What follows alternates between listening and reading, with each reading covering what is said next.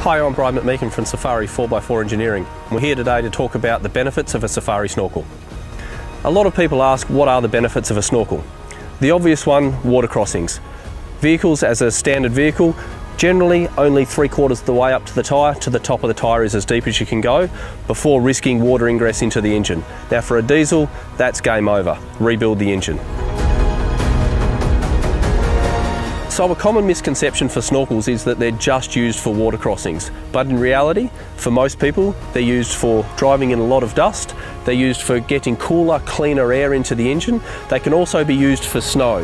When you've got a lot of snowfall, it can build up on the top of here. It can also build up in your air intake and across your radiator, so we can turn the air around backwards and make sure that you're getting nice, cool, clean air into the car. So when we're travelling down dusty roads for hours on end, your wheel is churning up all the dust and that's where your air intake is coming in. With the Safari snorkel, you're getting your air intake from up here.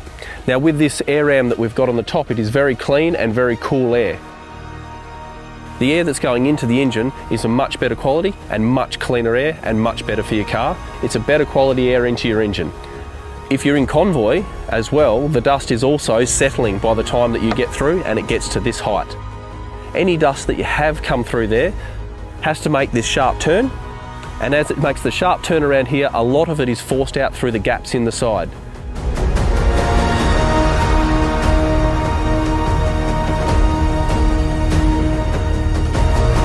At Safari, we're a very proud Australian manufacturer. We use Australian materials and we make all of our products in Australia.